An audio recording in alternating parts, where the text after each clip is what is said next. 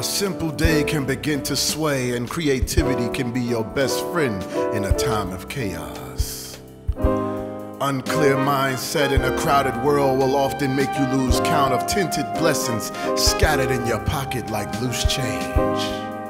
Doubt lays thick like green shaggy carpet that needs to be removed from a contemporary home. Outlets are needed as food to a soul, dancing to no music, screaming, I need to learn how to be a DJ. And oh, how I miss the 20 inch woofers going across the back of first rattle of the get up and go. I'm so proud to be black and that I got soul.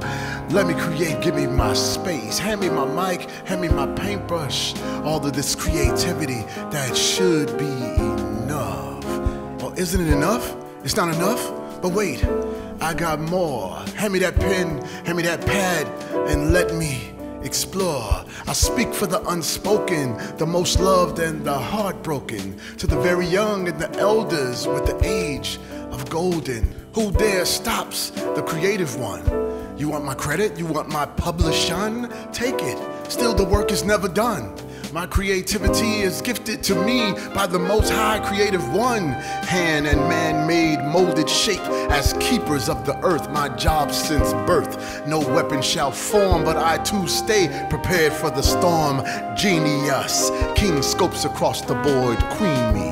I mean, real queen, the true love, not just the face trying to replace mama's hugs. The inner warrior speak, the storyteller, the healer, the village chief, the melanated one kissed by the sun, charged by the ancestral cry since life begun.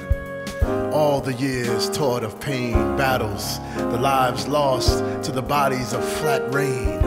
Raised with street soldiers trying to find their way, tricked by dangling keys of survival, only led to shallow, hollow graves. Bottle it up, don't cry. Be a man.